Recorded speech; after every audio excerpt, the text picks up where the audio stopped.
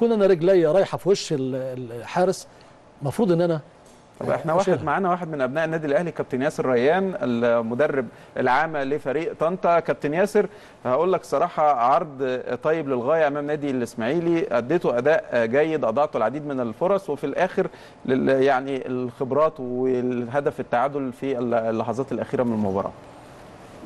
طبعا برحب بالأول بك يا محمد وبرحب طبعا بكابتن مصر وكابتن النادي الأهلي كابتن عادل طعيمه كابتن رضا شحات طبعا برحب بيهم يعني. حبيبي يا كابتن ياسر. مبروك يا ياسر. عارف ربنا يخليك يا كابتن عادل. أنت عارف المباراة بالنسبة لنا كانت مباراة الإسماعيلي ما فيش شك مباراة قوية. المركز اللي إحنا فيه مركز طبعا حساس طبعا وأنتم عارفين كده كويس. مش إحنا لوحدنا أنت عارف اللي فيه صراع تحت بين الرجاء وبين النصر وطنطا وادي دجلة والمقصه والداخلية. في مجموعة فرق بت- بتنافس اللي طبعا في أنت عارف الأمور صعبة تحت. فأنت رايح برضه بتلعب الإسماعيلي فرقة كبيرة فرقة محترمة فرقة لها لها, لها تاريخها. فإحنا كنا رايحين برضه ما فيش شك إن إحنا آه، رايحين آه، على الثلاثه بونت وده كان هدفنا الأساسي. واشتغلنا برضه على على النقاط اللي هي القوة والضعف اللي موجودة في فرقة فرقة الإسماعيلي.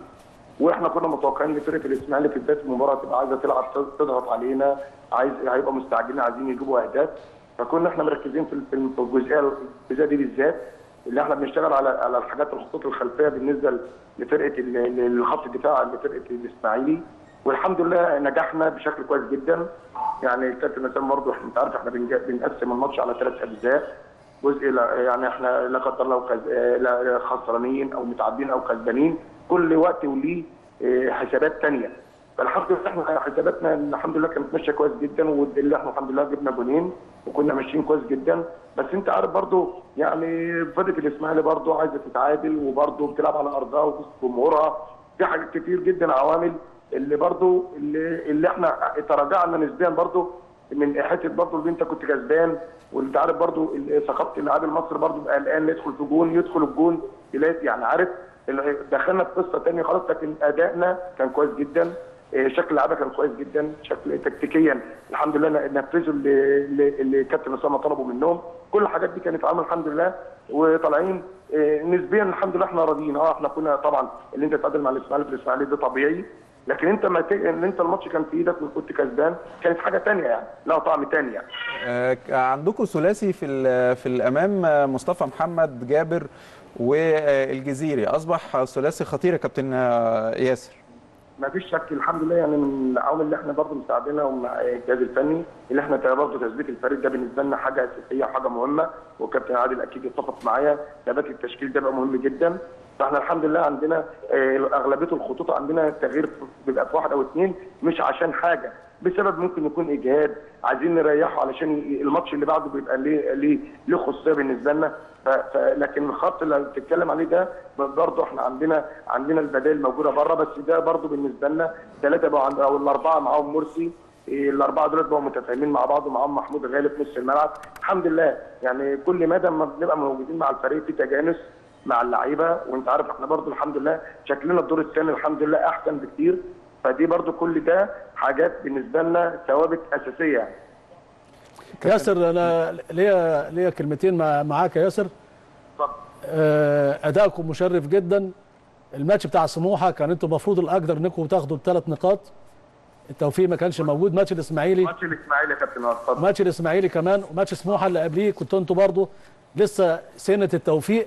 الحاجة بس اللي أنا آه، آه، بلاحظها إن الجول اللي الإسماعيلي جابه كان الراجل آه، بامبو كريم بامبو ما كان لوحده تقريبا. فهنا كان حتة عدم التركيز ما كانتش موجودة. فدي برضو بيجي منها أهداف. فالولاد آه، أكيد أنتوا بتشتغلوا معاهم وبعدين أنتوا اشتغلتوا فترة صغيرة مش فترة كبيرة. إنما البصمات بتاعتكم شغلكم واضح.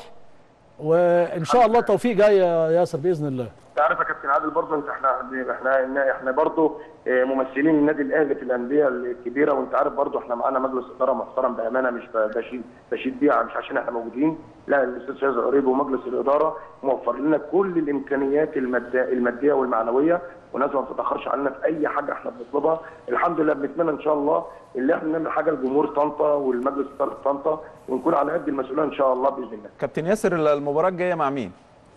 هنلعب هنلعب إن شاء الله بعد بكرة. إحنا في معسكر من النهارده.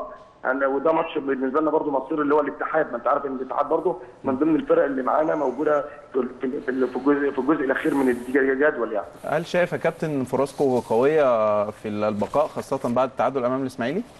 إحنا بص إحنا الحمد لله شغالين كويس جدا والحمد لله الفترة الأخيرة نتائجنا إيجابية كويسة قوي قوي قوي وخاصة بعد ما تعاشنا مع اللعيبة فترة طويلة وبقينا موجودين معاهم بشكل الحمد لله. آه، بنشكر طبعا الفترة اللي فاتت بتاعت الكابتن خالد طبعا آه، والجهاز الفني اللي كان موجود. بس إحنا الحمد لله آه، بصمة الكابتن اسامه عرابي وبصمة الجهاز الفني معاه وبصمة الإدارة نفسها كل ده كانت عوامل اللي إحنا الحمد لله عندنا عوامل تساعدنا إن إحنا الحمد لله ننجح وما زلنا. أنت عارف إحنا الحمد لله ربنا يكرمنا إن شاء الله بروح الرجالة اللي موجودة واللعيبة. إن شاء الله عندنا الثلاثه بونت بتاع الاتحاد دول إحنا مركزين معاهم كويس جدا قوي قوي قوي إحنا إن شاء الله نكون مع حالفنا التوفيق والحظ إن شاء الله. كابتن مصر والمدرب العام لنادي طنطا. كابتن ياسر ريان بشكر حضرتك. شكرا جزيلا.